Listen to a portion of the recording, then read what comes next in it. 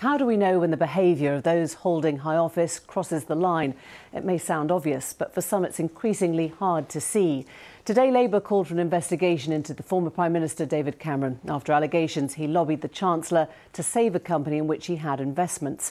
Against that backdrop, yesterday the Prime Minister's spokesperson said Boris Johnson acted with honesty and integrity over an alleged affair with Jennifer Arcuri that involved taxpayer funding when he was Mayor of London. Last year, the Home Secretary Priti Patel was found by an independent inquiry to have broken the ministerial code by bullying staff. The Prime Minister rejected those findings. A six figure payout was made to the civil servant who accused her, and she remains in post. The government insists the highest standards were demonstrated in each of these cases. But some will say it all feels a long way from the days when those in elected office resigned to restore public trust. So, have the rules changed? Have we changed? Or is the system breaking? Here's Nick Watt. Symbols of high standards of nobility and courage. Symbols inspiring generations of leaders keen to follow in the footsteps of giants of history. But do today's leaders meet the standards meant to govern our public life? A blast from the not too distant past, finding himself back in the present over current business links with a financier forged during his time in number 10. Labour is calling for an investigation after it emerged that Lex Greensill was given a Downing Street business card.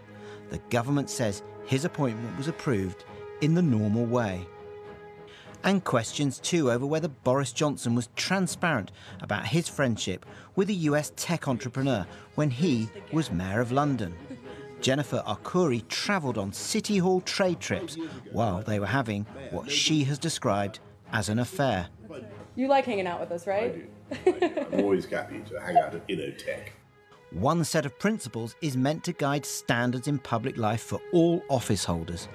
The Nolan principles say they should show selflessness, integrity, objectivity, accountability, openness, honesty, and leadership. Right, I think we can now say we're very nearly there. The principles were drawn up in the mid 1990s as John Major's government battled allegations of sleaze. We must go back to basics. We want our children to be taught the best high standards pledged by an aspiring Prime Minister who now finds himself under fire after lobbying former colleagues now in government. There is, I believe, another big issue that we can no longer ignore. It's the next big scandal waiting to happen. It's an issue that, frankly, crosses party lines and has tainted our politics for too long. It's an issue that exposes the far too cosy relationship between politics, government, business and money.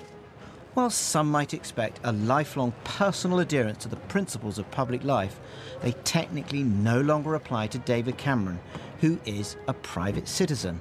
The principles did apply to Boris Johnson in his time as mayor the Independent Office for Police Conduct found no evidence that he had sought to play an active part in influencing Jennifer Arcuri's presence on trade missions, though it did say he should have declared an interest. The Greater London Assembly is carrying out an investigation. Number 10 insists the Prime Minister has acted at all times with integrity. Britain prides itself on a relatively clean public life compared with some of our near neighbours. No Nicolas Sarkozy over here facing the threat of jail. But there are times when mammon meets politics, raising questions about whether we're quite as clean as we think we are. Well, if you go through the Nolan principles, I would say on all seven he fails regularly. I would say on all seven government ministers fail regularly. And what I find scary, actually, is that nobody really seems to care very much. And I just think that this is this sort of, you know, Trumpian descent into a politics where standards that were there for a reason are being deliberately debased and eroded. But don't all governments get into trouble in this area? I mean, your government, the Tony Blair government, took a million pounds from Bernie Ecclestone, didn't want to declare it, and went ahead with what he wanted, which was to exempt Formula One from uh, the tobacco advertising ban. Look, you go through every government, you'll find scandals. What I find extraordinary about this government is that nobody seems to view them as scandals. A Whitehall observer believes Boris Johnson and David Cameron may have questions to answer, but the principles of public life are working. I think there are now seven principles of, of, public life, as they're called, the Nolan principles, which have been with us for more than 20 years. And I think by and large those do work. In fact, you could argue that they're working better. We're in a, a time of enormous scrutiny, real blowtorch of public attention, and that has downsides in some way. We're not here to discuss the cancel culture and all that. But that does have the advantage that people really are looking very, very hard at uh, those who govern us. A new season beckons, but a return of the old theme of the troubled relationship between power, money, and friendship. Well, that was Nick Wotton. He's with me now. That was a broad look at the, the principles of public life there, Nick. Um, specifically this evening, what are we learning? What are we hearing? Yes, so the Labour Party is calling for an investigation into David Cameron after they uncovered a business card that you saw featured in my film that showed that that financier, Lex Greensill, was given the position of senior advisor in the Prime Minister's office. Now, at one level, this is not surprising. Uh, Lord Heywood, the late Cabinet Secretary who knew Lex Greensill from the city, he was keen to bring him in. They wanted business expertise. It was a time of austerity, but a time when they wanted to help business. And he had come up with this vehicle to help businesses uh, who find that they get paid late by government agencies, uh, for example, uh, the NHS. Uh, the problem for David Cameron, and this has been shown in an FT investigation, is that two years after leaving Downing Street, he went to work for Lex, Gra- Lex Greensill. Uh, that's fine. He didn't need to declare that. It was two years after he left, but that business is now in trouble. Um, so no rules appear to have been broken, and there is confidence in the David uh, Cameron camp. They're saying that the the lobbying regulator uh, made made clear that they weren't going to investigate it. On the Committee of Standards in Public Life, they believe is not going to investigate this. But I do have to say, I do not sense an outpouring of love for David Cameron in the Conservative Party. And talking, hearing from people who were in government with him, they say this is really not helping his reputation.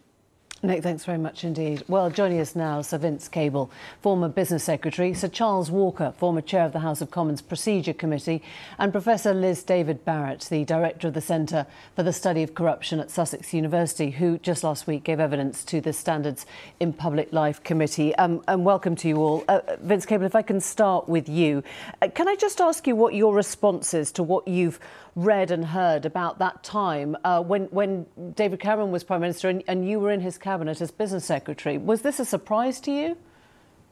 Um, well, I, have never heard of Alex, uh, Alex Greensill till recently, but I mean, I think the two things that are thrown up by uh, the David Cameron affair, and I'm, you know, he's not done anything wrong as far as we know, uh, is that two of the big weaknesses of the rules. I mean, one is in the the lobbying legislation, which was put through in 2014. We, we, Liberal Democrats and the coalition thought it was too weak and criticised it. It was also criticised in Parliament.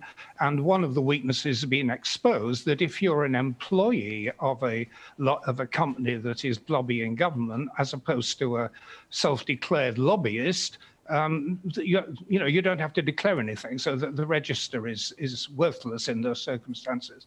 And the other is that the committee, uh, which advises on uh, business activities to stop the revolving door, it has this sort of blanket two-year rule, which is fine, and, and that makes makes sense if you're uh, talking about, uh, say, a junior minister and, and, a relatively minor business activity.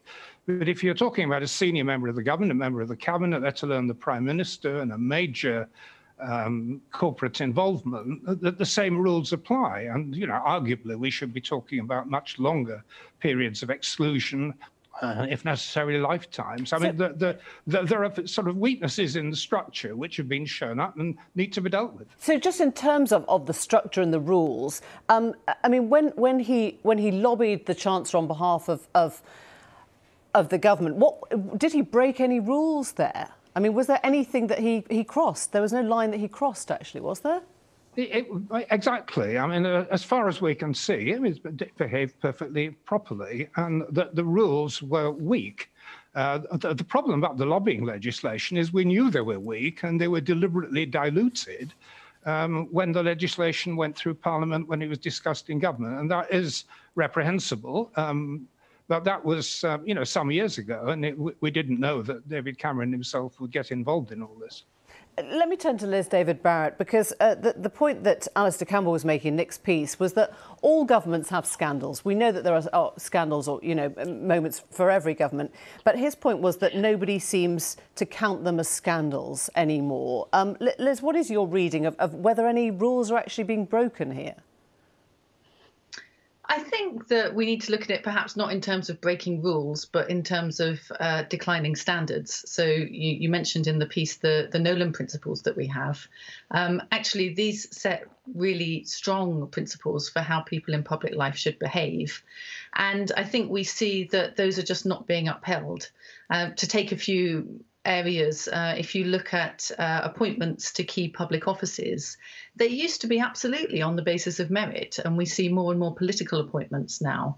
Uh, people who are appointed on that basis, just for loyalty, are less likely to be good at the job and they're less likely to ask questions. Um, you know, we also see, I think, an unwillingness to submit to external scrutiny, to put up a minister on major news programs such as your own, uh, or to you know, publish transparent uh, information about what the government's doing. And you know, finally, I think there's a big problem with these internal investigations. So when there is evidence that something has gone wrong or the allegations that it has, we really need to investigate, and that's absolutely critical for public confidence. Um, Charles Walker, can I turn to you on that? And we're very happy to have you as a representative of, of the Conservative Party as well, obviously, as, as, a former chair of the House of Commons Procedure Committee. But the ultimate arbiter of the ministerial code is the Prime Minister. Are you happy with the way it is being arbitrated?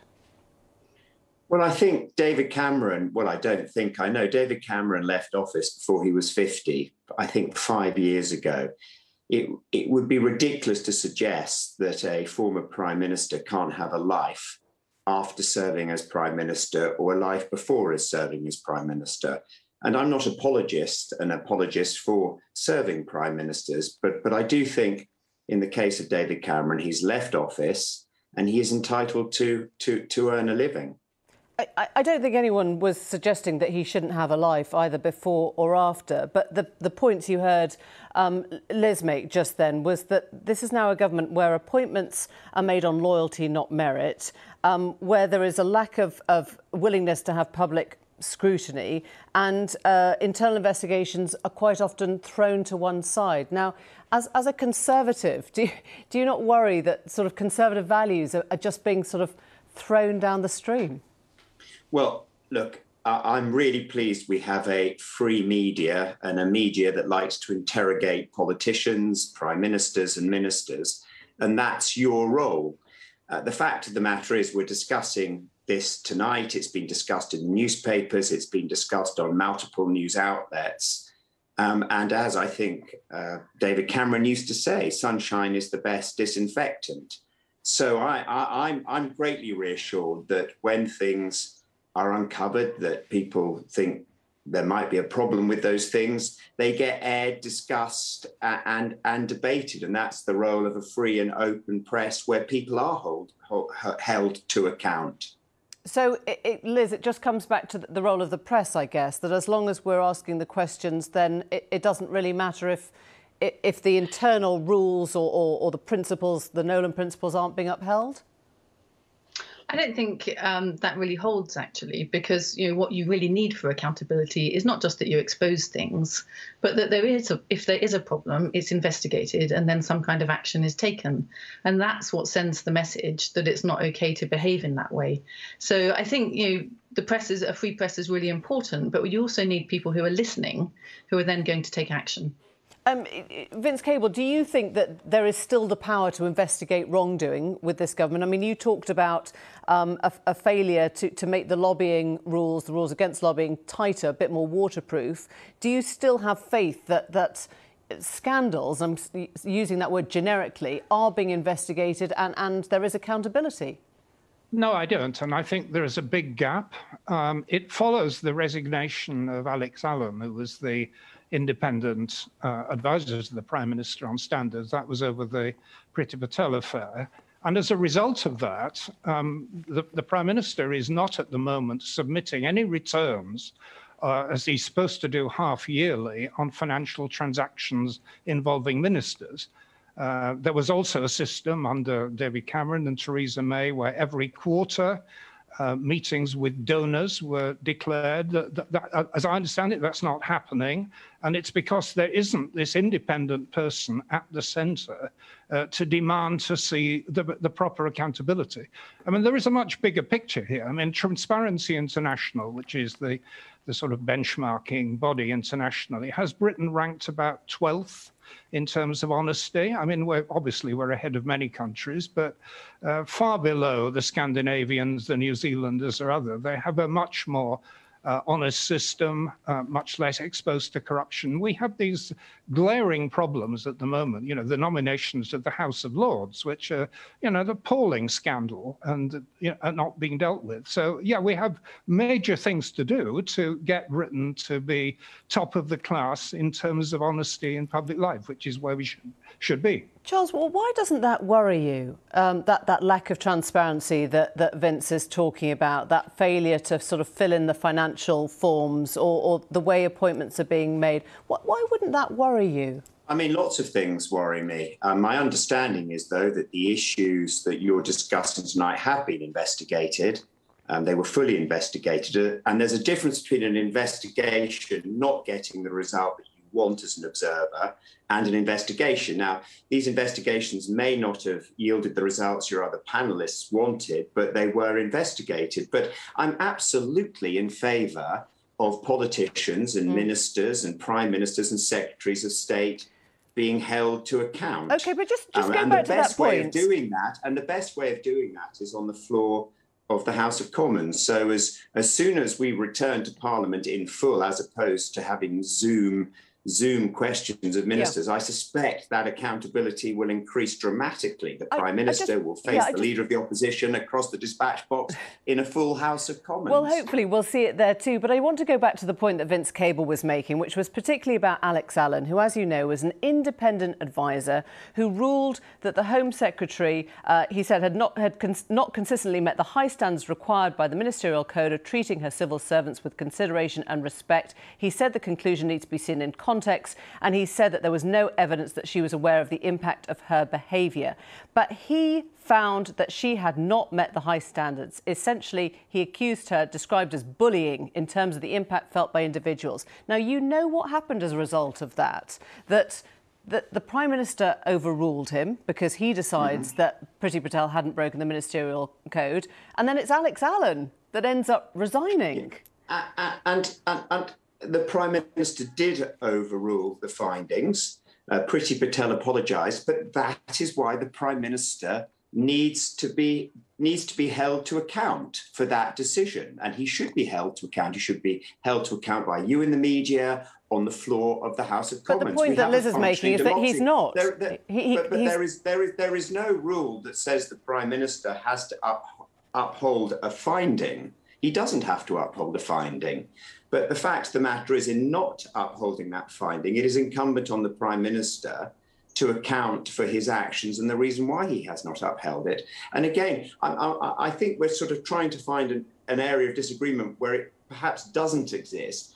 The important thing is, is when prime ministers make decisions, they are held to account for those decisions and thoroughly scrutinised. Well, if they can be scrutinised, which was the point that Liz David Barrett was making. So two but I points. want to see them scrutinised. Okay. I want to see them. So, so Liz David Barrett, is that scrutiny happening? A, and is the answer to it, as Charles suggested, that actually it happens on the floor of the Commons, or it happens fundamentally through the democratic system? Is that what we're saying now? That a big majority gets to do what it wants?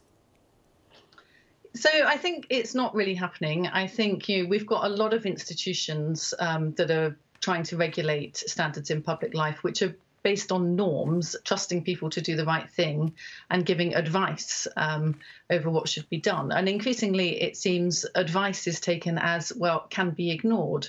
So I think we need to make those institutions a bit tougher.